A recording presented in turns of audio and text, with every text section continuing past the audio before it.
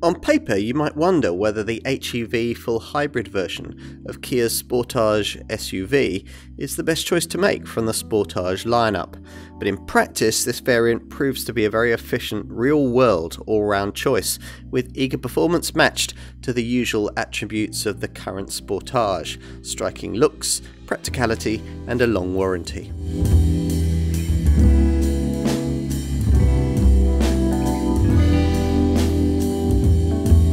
If you're not quite ready yet to plug your car in, then the chances are that you want a hybrid of some sort. And it's equally likely that you want some sort of SUV. If that needs to be one of the mid-sized family-shaped sort, then here's a model that needs to be somewhere on your shopping list, the full hybrid HEV version of Kia's Sportage. The full hybrid HEV terminology is important here because Kia also offers this car in mild hybrid guise, where it's cheaper, and in plug-in hybrid form, where it's predictably pricier. All these various flavours of 1.6 litre petrol turbo engine are directly shared with this Kia's Hyundai Motor Group close cousin, the similarly priced Hyundai Tucson. But this Kia has a very different visual vibe. Is it the family SUV hybrid for you? Well, you'll need the usual comprehensive car and driving road test to find out.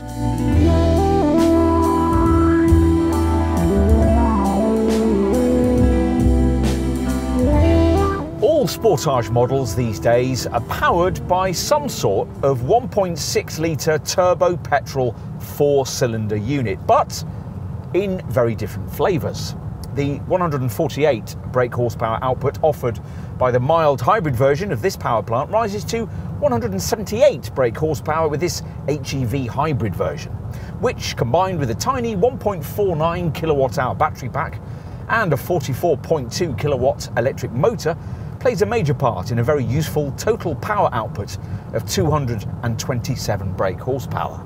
Weight and aerodynamics, though, combine to keep performance relatively modest. The rest to 62 mile an hour sprint occupies 7.7 seconds in the front driven model and maximum speed is 120 miles an hour.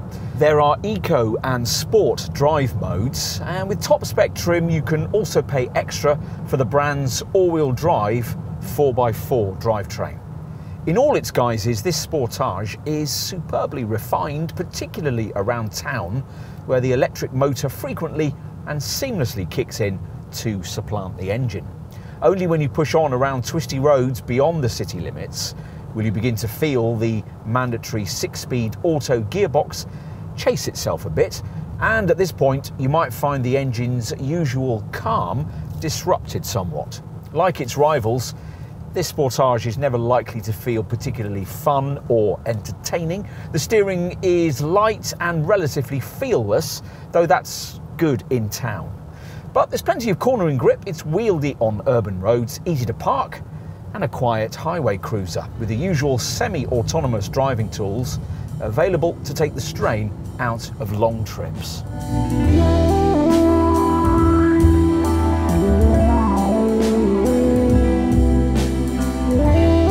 Like the all-electric EV6, this Mark V Sportage has been designed under Kia's Opposites United ethos, which you could guess from a glance at the visual elements the two models share. The boomerang style headlights, swollen rear arches, the concave tailgate shaping, and the prominent spoiler. Europe gets a short wheelbase version of this model and won't be offered the longer version of this design available to other world markets, both variants sitting on the same N3 platform that undergirds this car's close cousin, the identically engineered Hyundai Tucson. Shared parentage with the EV6 is also evident inside, where the dashboard gets a gently curved display incorporating two 12.3 inch digital screens. Other key controls are operated via a row of multimedia haptic buttons, which can change function depending on drive mode selection. Though the European Sportage is 85mm shorter than the long wheelbase global model, it's 30mm longer than the previous generation design, and that frees up 10mm more wheelbase length for a couple of adults to sit comfortably in the rear, three at a pinch. The boot capacity is only fractionally down on the mild hybrid model, rated here at 587 litres. Flatten the rear bench, and that figure rises to 1,776 litres.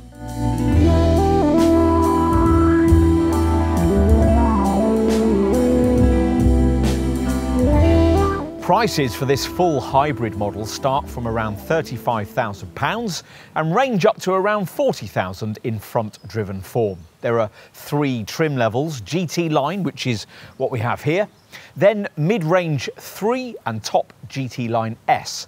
That latter top version also available in all wheel drive form for an extra £1,500. On all models, auto transmissions mandatory. For the front-driven variants, think in terms of a £2,000 premium over the equivalent 148 brake horsepower mild hybrid version. At the time of our review, the plug-in hybrid version was priced from £40,500.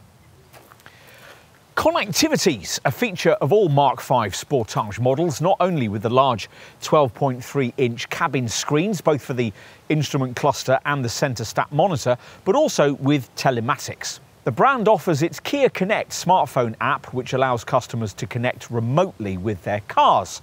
And a clever user profile transfer feature enables users to back up their in vehicle Kia Connect preferences via the cloud and transfer settings from one vehicle to the next. With top GT line S spec, you also get an upgraded Harman Kardon sound system.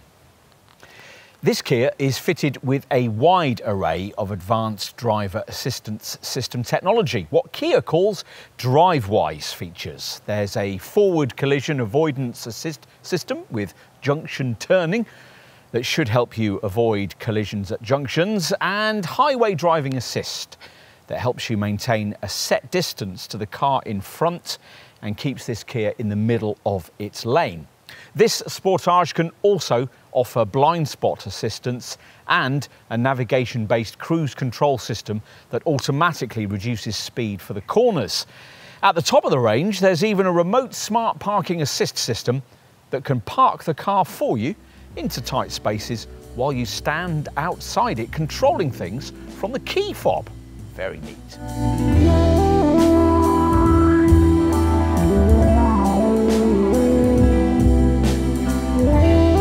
Combined cycle fuel return for this Sportage HEV hybrid is quoted at 49.6 mpg on the combined cycle and 129 grams per kilometre of CO2. Given the price premium here, we'd hope for a bit more gain over the figures of the cheaper mild hybrid version 43.5 mpg and 147 grams per kilometre, but you are getting much more performance. And a regular real world return of around 40 mpg is easily possible, which we never got anywhere near in the mild hybrid. Best of all, because of the extra performance, you can leave this Sportage HEV in its most frugal eco drive mode nearly all the time without the car feeling slothful as it would do if you did the same thing in the mild hybrid. Official stats don't always tell the full story, and they don't here, but if you want all of them, we'll tell you that the larger wheels of top GT Line S trim drop the front driven version CO2 reading to 132 grams per kilometre, which falls again to 146 grams per kilometre in a GT Line S all wheel drive model. As usual with the Kia, there's a seven year or 100,000 mile warranty, which, since it can be passed from owner to owner, should help the impressively strong residual values. You might want to note that roadside assistance cover is limited to one year, but you do get a long 12 year bodywork warranty. Maintenance costs can be kept down by opting for Kia's Care 3 or Care 3 Plus package, which offer a fixed cost and inflation proof servicing plan for the first three or five years, something which can also be passed on to subsequent owners. Insurance is rated at groups 24E to 26E, and service intervals are every year or 10,000 miles, whichever comes sooner.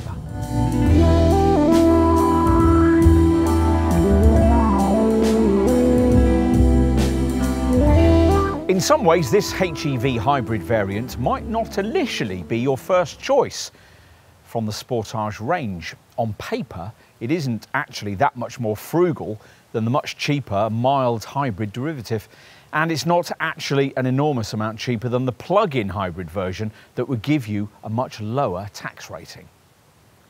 For the real world, though, this test has left us with the suspicion that day to day, as an all round ownership proposition, this HEV Sportage might turn out to be a better bet than either of its range stablemates. We've got closer to the quoted efficiency figures than seemed possible with either the mild hybrid or the plug in versions, and the drivetrain is particularly refined, torquey, and smooth.